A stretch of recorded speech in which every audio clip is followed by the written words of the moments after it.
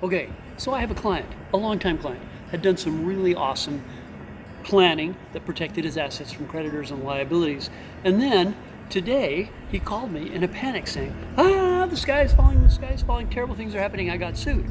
Well, it turns out that the entity that was designed to protect, protect him, something we call a family bank entity, he had had that entity sign guarantees on a number of financial instruments which went. And so he got sued. So this was like putting the Titanic in dry dock, dry dock and using a blowtorch to cut a hole as big as a truck just below the waterline and then launching the boat and expecting it not to sink.